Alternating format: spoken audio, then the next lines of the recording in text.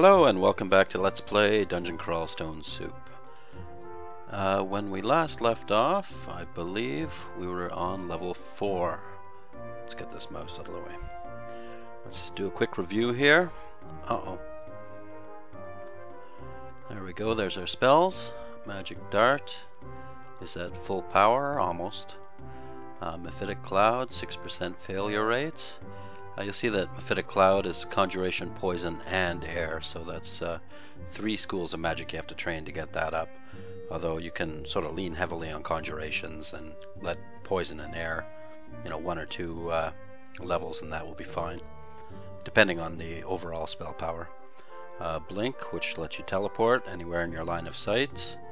Uh, you've seen Conjure Flame. I haven't used Call Imp too much, and uh, there's four types of imps. Uh, I'm, I'm sure we're going to see more of those in a little bit. And repel missiles, which protects you from uh, nasty bow attacks. Uh, so let's just check out our skills here, how they're coming along. Not too bad, spellcasting's looking good. Uh, summonings is pathetic. Translocations I'm going to turn off at 2. And air magic and poison magic are fine there. I don't want to invest too heavily in these because uh, each school has an opposite school. So uh, let's say you have a 5 in air magic, uh, that means your, let's see all our skills here. That means your earth magic will be much more difficult to train. It'll have a minus 4 to it as you can see here.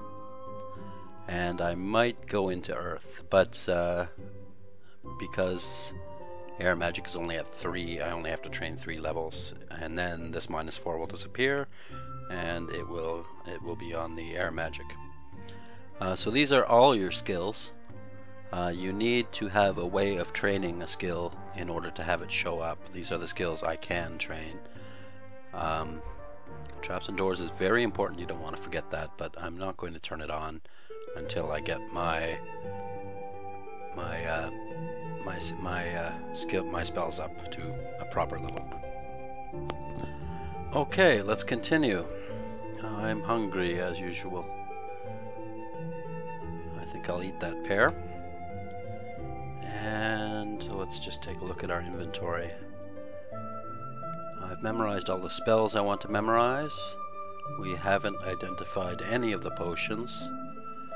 And not too many of the scrolls either. I'm waiting for the temple to do that, so let's hope the temple's on the next level because I need a god. It was uh, it would have been nice to have a god. I would have got a lot of piety here. There were so many monsters there, but uh, what can you do? That's just what crawl gives you.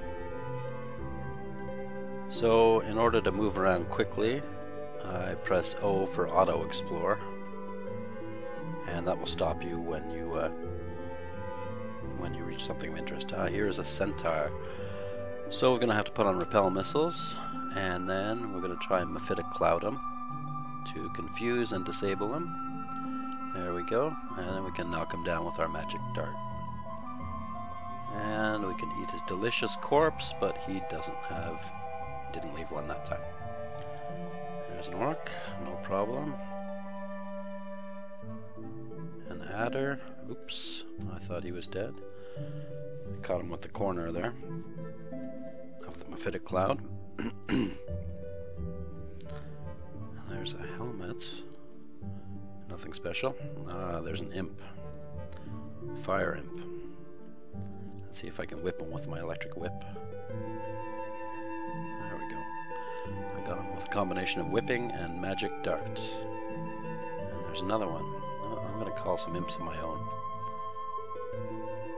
The ones with little hearts next to them are mine. And they should take care of them. Or at least help me to take care of them. There we go. And let's continue to explore. A bat skeleton, no problem. Ah, there's our first altar. That is the altar to Trog, the anti-magic god. Obviously, we cannot worship him but it's a good sign that the temple might be close. Although you never know. So right now I'm depending heavily on Mephitic Cloud. Uh-oh. That's an Orc Priest. He can smite you as long as he's uh, in your line of sight. There's no way to avoid it. Uh, unless you disable him with Mephitic Cloud. There we go. And now he can't do anything. And there's an Orc Wizard. He can throw... Oops, let's move this mouse. He can throw uh, uh, Frost and turn invisible and confuse me, but uh, I confused him first. So let's eat some of these guys, get rid of our hunger, and continue to explore. Oh, we're hungry again. Fit a cloud him. Oh, now we're in trouble. It's a pretty bad situation. That ice beast is tough. You saw me fight one in the last video. We've got an ogre bearing down on us. So, luckily we have 21 mana left. So we're going to call a bunch of imps. They'll uh, sort of form a shield around me. Three, four, and we're going to back up and continue to call imps.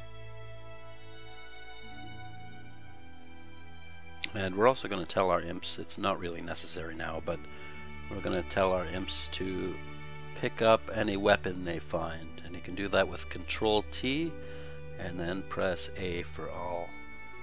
And now you see it says your intelligent allies may now pick up anything they need. Oh, and they managed to kill the ogre. And I'll lend a hand with the ice beast. And there we go.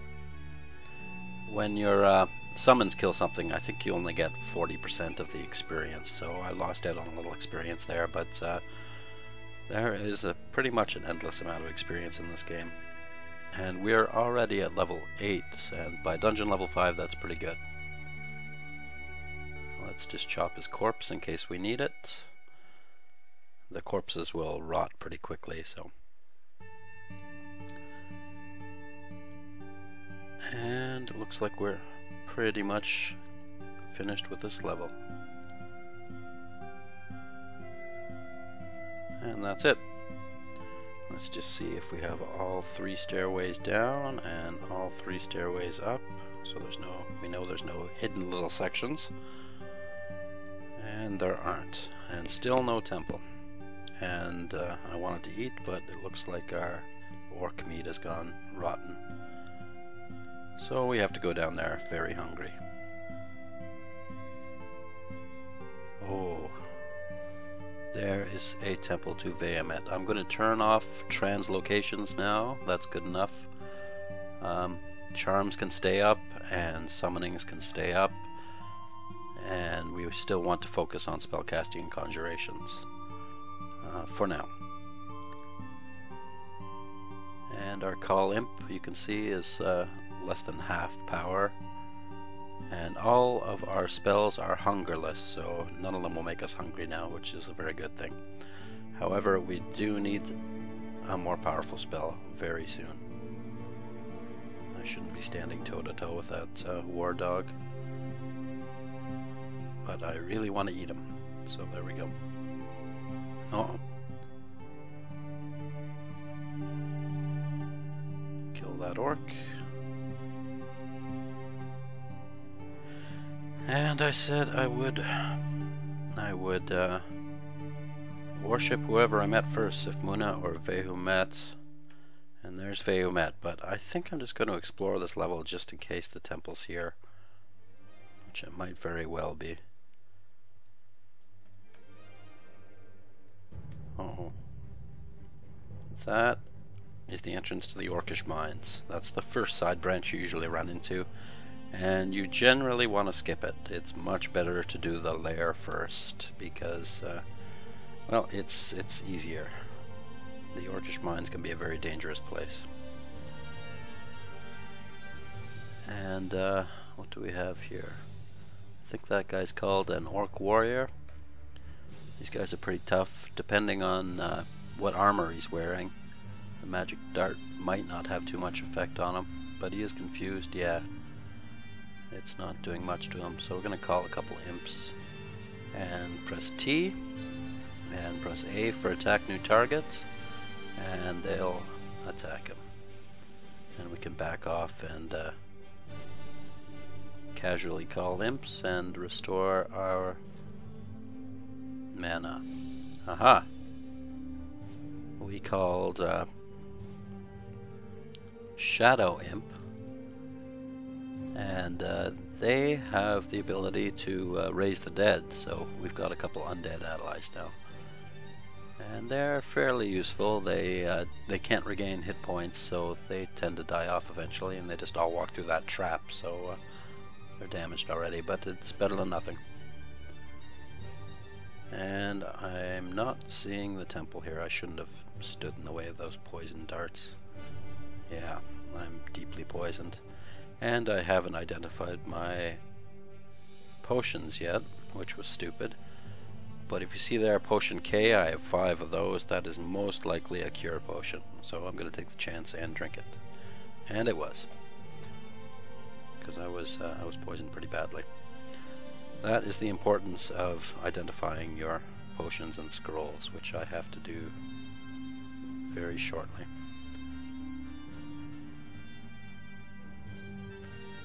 Just continue to explore. And sneak up on these guys. Okay. That's a little too much. So let's try and draw one of them off. Call a couple imps for help. Get everybody to attack them. and they're all resistant to mephitic cloud, so we can confuse them as well. Although that tends to make a little bit of noise, and it's drawn the attention of more orcs. I'm, I'm just uh, whipping him here because he's fairly harmless when he's confused.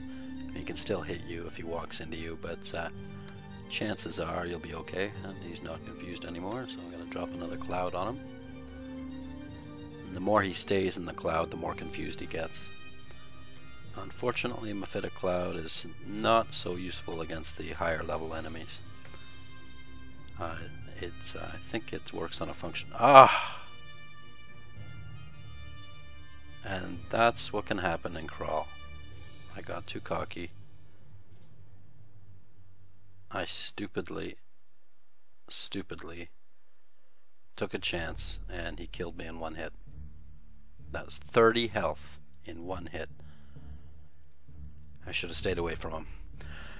I didn't even find the temple. That's how easy it is to die in Dungeon Crawl Stone Soup. How disappointing. Okay, well, 31 damage. Ugh. I think um, I'm going to try again. And uh, I'm going to run an Ice Mage because uh, I haven't seen a playthrough of Crawl um, with an Ice Mage. So, sorry about the short video, but uh, there's nothing I can do. Once you die in Crawl, you're dead. Uh, so, see you next time. Thanks. Bye bye.